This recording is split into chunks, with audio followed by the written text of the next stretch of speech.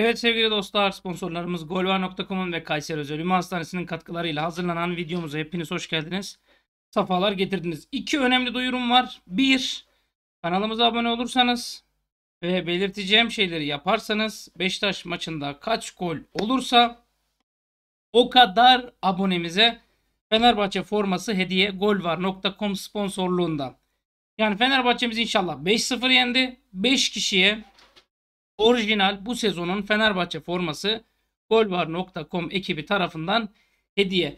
Öncelikle abone olun bilgilendirme videosunu vereceğim. İkincisi bugün akşama kadar 29.300 olursa 20 kişiye akşam saat 20'deki yayında üyelik hediye 29.400 olursa tam 50 kişiye üyelik hediye. Yani eşinizi, dostunuzu, akrabanızı çağırın. Kanala abone olsunlar. Eğer son zamanlarda çok video izliyorsanız, çok beğeni atıyorsanız merak etmeyin. Direkt abone olursunuz. Yani direkt üyelik hediyesi alırsınız.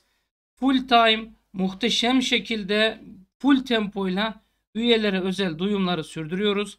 Abone arkadaşlar bu duyumları bir gün, iki gün, birkaç gün, bir hafta sonra videolarda alıyorlar. Ama üye olursanız direkt alıyorsunuz. Ayrıca çeşitli etkinliklere de ücretsiz katılabiliyorsunuz.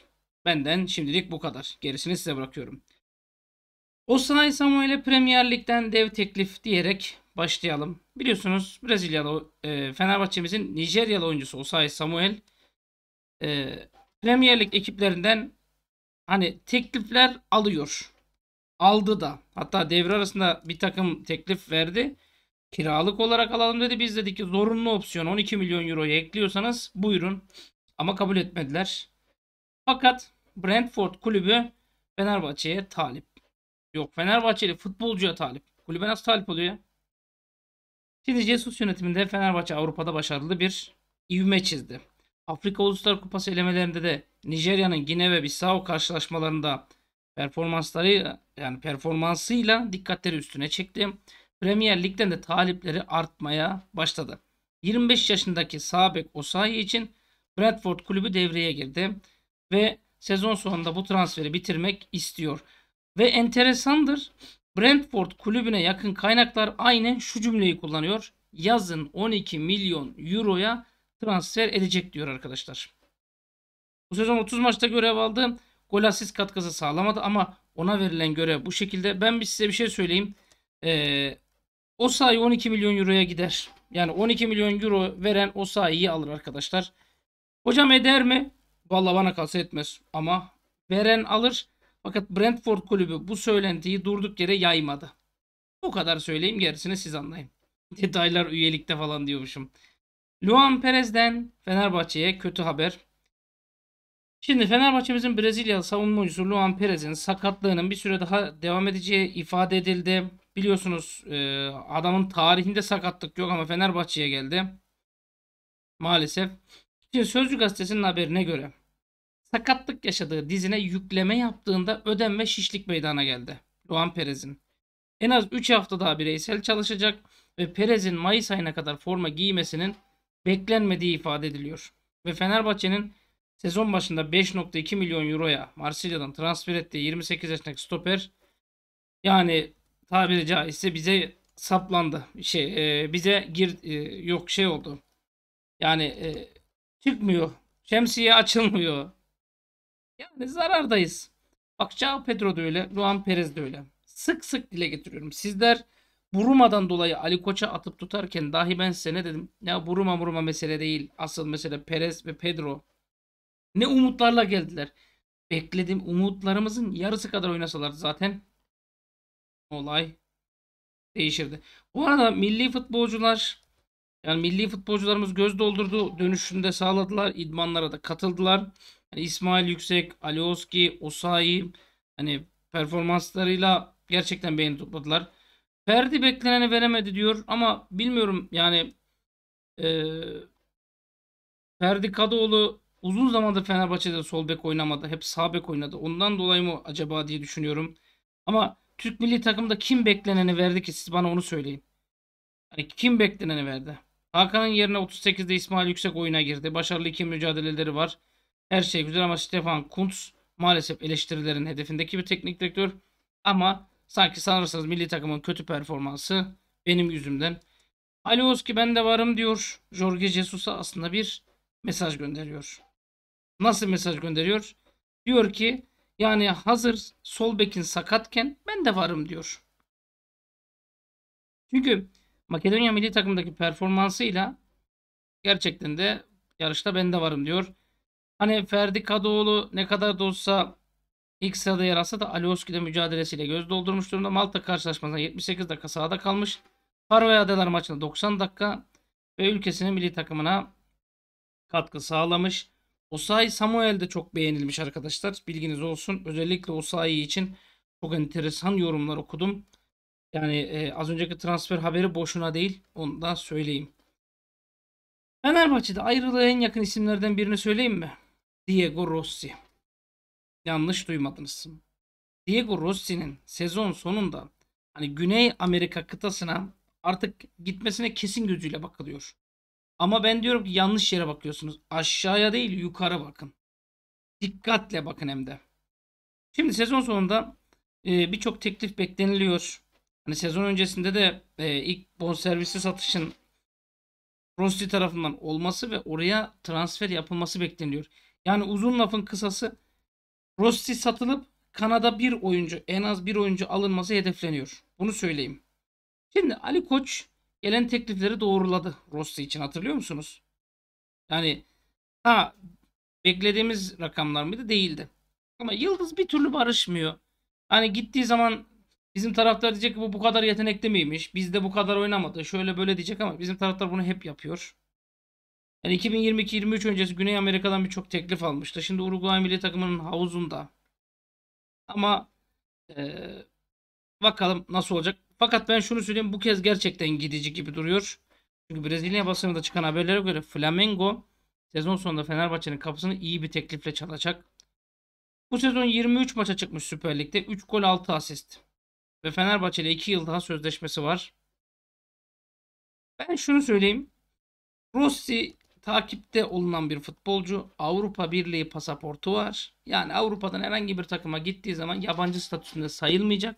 O yüzden rahat dolaşım hakkına sahip. Ama e, ister subliminal, ister açık açık, ister direkt olarak, duyum olarak algılayın. İspanya Ligi tam Rossi için biçilmiş yer. Biz İspanya'ya 10 milyon euroya satsak, sonraki satıştan %40 pay desek Rossi'yi bayağı fiyata satmış oluruz. Benden söylemesi. Borini'den transfer itirafı.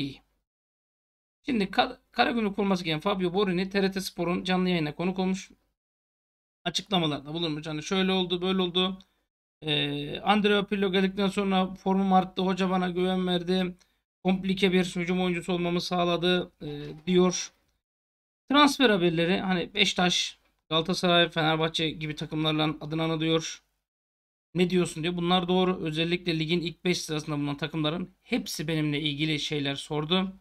32 yaşındayım ben de kendi şartlarımı düşünmeliyim. Kontratım Haziran'da bitiyor. Haziran'dan itibaren geleceğimle ilgili karar vereceğim. 3 taraf da aslında şartlarda anlaşamadı. Bu nedenle şu an buradayız diyor. Bakın 3 taraf. Yani Fenerbahçe, Karagümrük, futbolcunun kendi tarafı. Çünkü Karagümrük 2,5 milyon euro civarında bir bonservis beklentisi vardı. Takası da yanaşmadılar. Sonra yanaştıkları isimler de gitmek istemedi. Haziran'ı bekliyor Borini. Ee, İtalya'ya dönebilirim de burada kalabilirim de diyor. Süper Lig'de en beğendiği isim soruluyor. Ne diyor biliyor musunuz? Süper Lig'de en beğendiğim futbolcu İrfan Can Kahveci diyor. Bilmiyorum ne demek istediğini anladınız mı? Borini'nin. Bu sezon 24 maç 16 gol 8 asist. Bir şey söyleyeyim mi? Borini ismini çıkartıyorum. İrfan Can Kahveci ismini koyuyorum. 16 gol 8 asist yaptı. Taraftarın sevgilisiydi değil mi şu anda? Yani Fenerbahçe'de İrfan Can şunu yapsa. Rossi 16 gol 8 asist yapsa. Yok hocam çöp o ya. Fiziksiz o. Bitiriciliği kötü. Lan 16 gol 8 asist yapmış. Olsun. Icardi kadar olamaz. Dersiniz. Şu ön yargılarınızdan inşallah kurtulursunuz. Jesus'tan yine bir talip varmış. Jorge Jesus'a. Yani Brezilya milli takım Carlo Ancelotti ile anılmaya başlandı. E Jesus haberi bitti. Olmaz. Başka bir ülkeden, başka bir takım illa ilgi gösterecek. Yani Jesus haberleri bitmeyecek. Çünkü tıklama alıyor.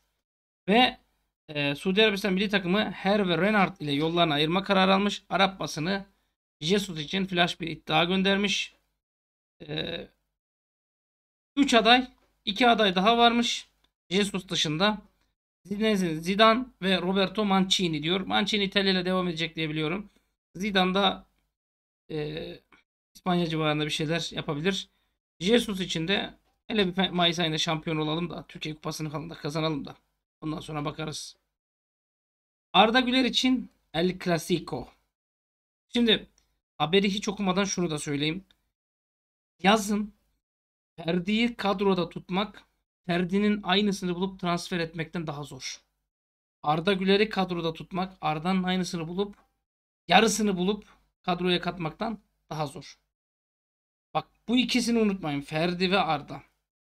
Real Madrid ve Barcelona Fenerbahçe'nin genç yıldızı Arda Güler için birbirine girecekmiş. Allah demiş. O demiş ki sen, sen çekil lan oradan demiş. O demiş ki terbiyesizlik yapma bak adamın asabını bozma demiş. Öbürü öbürüne bir şey söylemiş. O da ona bir şey söylemiş. Sonra birbirine bir girmişler bunlar. Vallahi Mahmut Bey, Şakip Bey hepsi bir... Ne oluyor lan? Yani bunlar birbirine giriyorlarmış Real Madrid Barcelona. Girilecek futbolcu mu? Girilecek futbol. Çünkü TrialChamps.com sitesi Arda Güler için son olarak iki İspanyol devinin e, birbirine girdiğini yazmış. Türk Messi lakabını vermiş ve mukavelesinde 1500 dakika forma giyemese 5 milyon euroya serbest kalır diye bir madde varmış. Şu ana kadar 630 dakika oynamış. Bunu da ortalığa atıyorlar. Dengeleri çok değiştirdi diyor. Ekonomik sıkıntı için demiş Barcelona ve 5 milyon euroyu Fenerbahçe'ye verip Arda'yı ikna etmesi bekleniliyor diyor. Yani Arda'nın resmi teklif gelmesi halinde Barcelona yerine Real Madrid'i tercih edecek diyor. Atletico Madrid de devrede. Çıkış maddesinden fazlası falan filan. Ben size bir şey söyleyeyim mi? Bazen çok düşünüyorum. Bazen geceleri düşünüyorum. Acaba biz mi çok abartıyoruz diyor. Yani o kadar etmez futbolcu mu? Sen o kadar eder misin diyorum. Bazen diyorum ki şimdi Arda büyük bir risk. Arda niye büyük bir risk? Parlatırsın sana risk. Teknik direktörüne risk. Parlatırsın satamazsın risk. Parlatamazsın risk. Geriye gider risk. İleri gidemez risk. Şimdi Arda Güler için ben açık ve net söyleyeyim. En mükemmel senaryodan bahsedeyim. 30 milyon euro sonraki satıştan %40 pay maddesiyle satılması. Mükemmel bir senaryo. Altyapıdaki bütün futbolcular şunu diyecek. Aa ben de A takımda bir sene oynayabilirsem bu adamları durdurmuyor bak. Avrupa yolu açık diyecek. 30'a satıp sonraki satıştan %40 maddesi kaça sattı adam? 80'e sattı. %40'ını 32. 62 milyon euroya satmış olacaksın. Da kar sende kar. 80'e satılacak futbolcu mu? Bizdeyken satılacak futbolcu değil. Bakın. Yurt dışındaki takımlar oynatıyorlar. Çünkü seyir zevki de istiyor taraftarlar. Yani göze hitap eden bir futbol da istiyorlar. Biz bizimki e, cebe hitap etsin. Bizimki hiçbir şeye hitap etmesine gerek yok. Hitap bile gerek yok. Ya arkadaş hitap edecek, gözüne de hitap edecek, kulağına da hitap edecek. Oynanan futbol seni tatmin edecek. Bizde maalesef ve maalesef yok. Yok abi yok.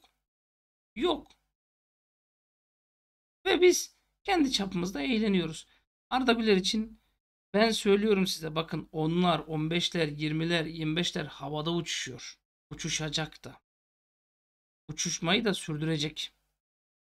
Yani uçuşmayı da sürdürecek. Niye? Çünkü böyle bir futbolcu.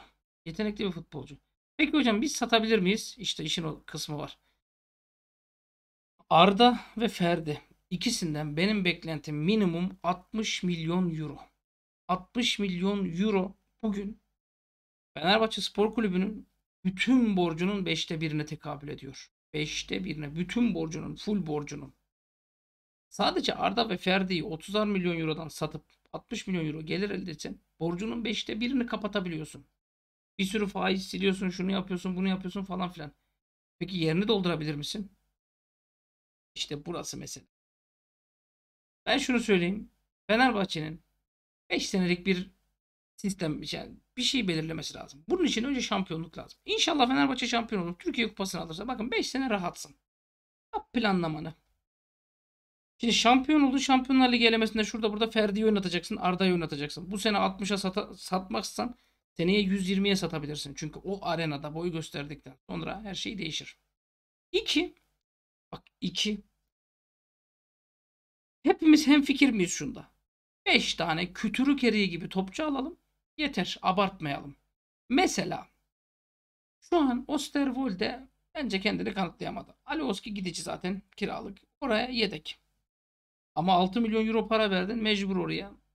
Sözleşmesi biten boşta bir isim alabilirsin. Tamam. Sağda Ferdi Osayi. Ben Osayi'nin gideceği görüşündeyim. 12'ye gitti. Ferdi'ye bir yedek alternatif lazım. Mesela Mert Müldür mükemmel olur. Becerebilirsen 4-5 milyon euro. Bak.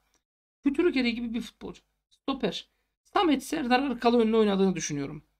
Luan Perez'in de iyileşeceğini düşünerek farz ediyorum. Salah'ı Luan Perez. Ön libero Crespo, Arao, Zayt'ın uzatacağını düşünüyorum. Mert Hakan, İsmail. Bak aslında orta sahada yeterince iyi. Fakat kanatlarımız tırt. Bize kötürük eriği gibi iki tane kanat lazım. Bir Greenwood, bir hani Lucas Moura tarzında iki tane kanat lazım. Forvet Valencia uzatacaksa, Batshuayi gidecekse forvet lazım. Gitmeyecekse bile forvet lazım. Pedro falan olacak iş değil.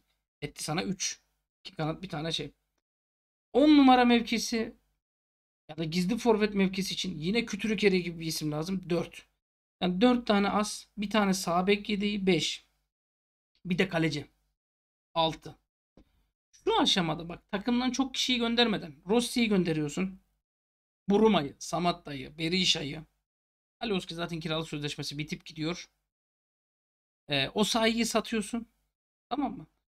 5 tane falan futbolcuyu satıyorsun. Aşağı yukarı zaten bunlardan 40, 40 milyon euroya yakın bir para gelir. 30 35 milyon euro, 30 milyon 30 milyon euro diyelim. 12 o sayeden gelse.